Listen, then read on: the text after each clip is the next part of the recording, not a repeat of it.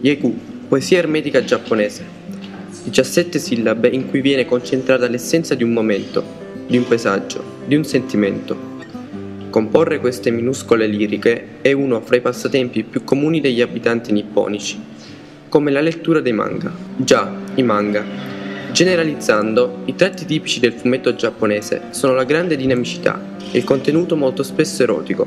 Jiro Taniguchi no, rappresenta l'antitesi dello stereotipo sul fumetto orientale, ma ciò non vuol dire che non disegni e talvolta scriva manga, semplicemente rappresenta una delle varianti del manga, la variante che, come per il fumetto occidentale impegnato, potremmo definire d'autore. Il Taniguchi più apprezzato all'infuori del suo paese natale è l'autore completo, cioè autore e disegnatore.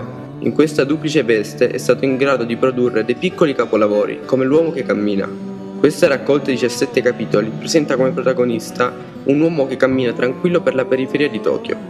Niente di eccezionale, per questo bellissimo. Taniguchi, con quest'opera, riesce a cogliere piccoli particolari che sarebbero rimossi altrimenti.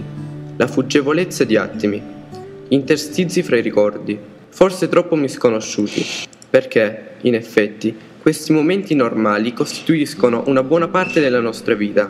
La bravura del maestro giapponese sta nel trasferire in immagini le impressioni poetiche di pochi istanti, con una leggerezza unica e allo stesso tempo con dovizia di particolari, conciliando disegni puliti e dettagli cesellati, proprio come un haiku. Nonostante il carattere assolutamente piatto dell'opera, nessun picco emozionale o quasi, è molto facile l'immedesimazione col protagonista, Forse perché noi vediamo sia lui che vede, sia quel che lui vede. O forse perché il suo aspetto così perfettamente innocuo e tranquillo è affascinante come uno assurdo ed esagerato.